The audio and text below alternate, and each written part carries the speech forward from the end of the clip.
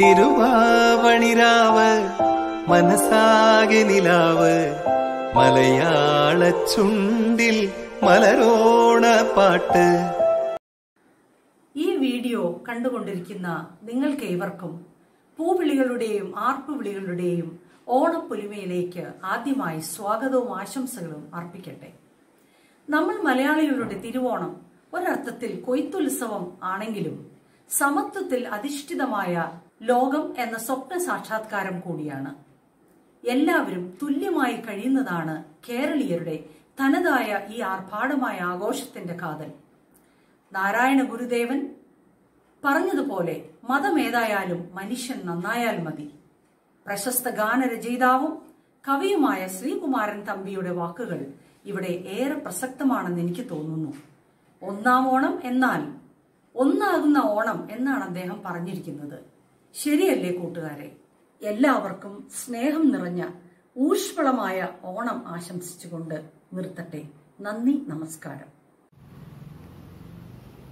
പ്രിയപ്പെട്ട അധ്യാപകരെ അനധ്യാപകരെ രക്ഷകർത്താക്കളെ വിദ്യാർത്ഥി വിദ്യാർത്ഥിനികളെ രണ്ടായിരത്തി ഇരുപതിലെ ഓണം ആഘോഷിക്കുകയാണ് നാം എല്ലാവരും. വളരെ വ്യത്യസ്തമായ രീതിയിലാണ് ഈ വർഷത്തെ ഓണം നാം ആഘോഷിക്കുന്നത്.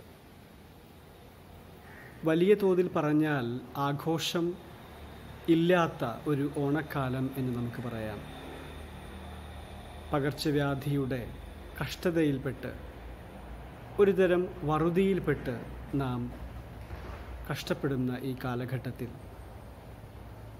ഓണത്തിന്റെ സമൃദ്ധിയും ശാന്തിയും സമാധാനവുമെല്ലാം ഓർമ്മിപ്പിക്കുന്നത് വരുന്ന ഒരു നല്ല കാലത്തെക്കുറിച്ചാണ്. ഈ വിഷമത്തിന്റെ കാലഘട്ടവും കടന്നുപോകും എന്ന് നമുക്ക് പ്രത്യാശിക്കാം. പ്രത്യേകിച്ചും ചരിത്രത്തിലേക്ക് തിരിഞ്ഞു നോക്കുമ്പോൾ എല്ലാ സന്തോഷം നിറഞ്ഞ കാലഘട്ടത്തിന്റെയും തൊട്ടു മുൻപ് ഒരു പ്രയാസം നിറഞ്ഞ ഒരുപക്ഷെ ക്ഷാമത്തിന്റെയോ രോഗത്തിന്റെയോ യുദ്ധത്തിന്റെയോ വരൾച്ചയുടെയോ ഒരു കാലം ഉണ്ടായിരുന്നു എന്ന് നാം കാണുന്നു.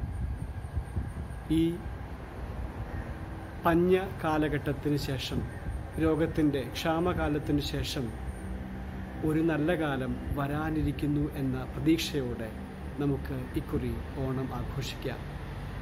നേരിട്ട് നമുക്ക് കാണാൻ സാധിക്കുന്നില്ലെങ്കിൽ ഞാൻ ഈ വീഡിയോ വഴി നിങ്ങൾ ഓരോരുത്തർക്കും ഓണത്തിന്റെ മംഗളങ്ങൾ നേരുന്നു.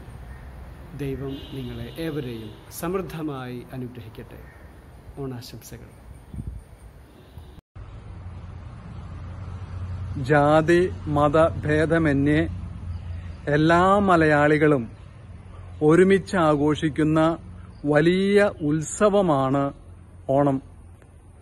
ഇന്ന് നാം ഓണം ആഘോഷിക്കുകയാണ്. കാർമൽ അക്കാദമിയിലെ എല്ലാ കുടുംബാംഗങ്ങൾക്കും മാനേജർ അച്ഛനും പ്രിൻസിപ്പൽ അച്ഛനും അധ്യാപകർക്കും അനധ്യാപകർക്കും പ്രിയപ്പെട്ട കുട്ടികൾക്കും അവരുടെ മാതാപിതാക്കൾക്കും ഓണാശംസകൾ നന്മകൾ നേരുന്നു.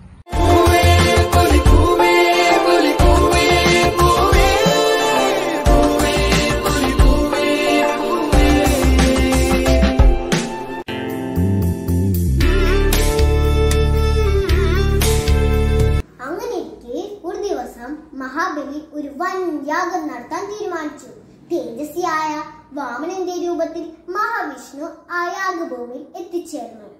തന്റെ ജ്ഞാനവും സാന്നിധ്യവും കൊണ്ട് മഹാബലിയുടെ മനസ്സ് കവർന്നു.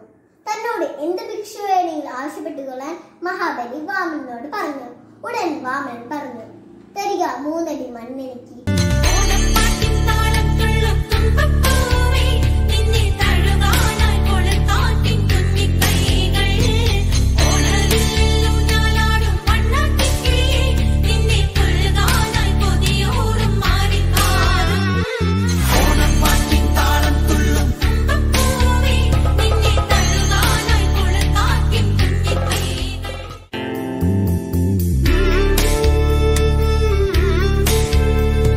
മന്ദാരക്കാവിയിലെ വേലപൂരം കാണാൻ. എന്താടാ കുഞ്ഞാഞ്ഞ്? നമ്മക്കും പോകേണ്ടേ?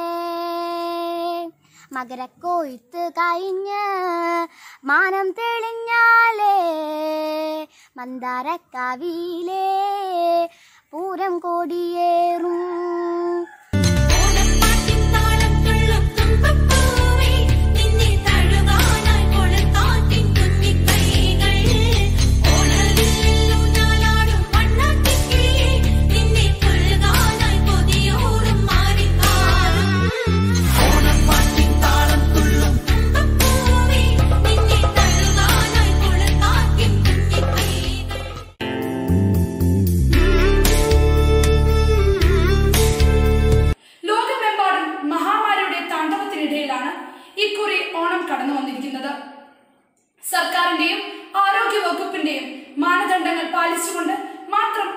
ആഘോഷിക്കുക.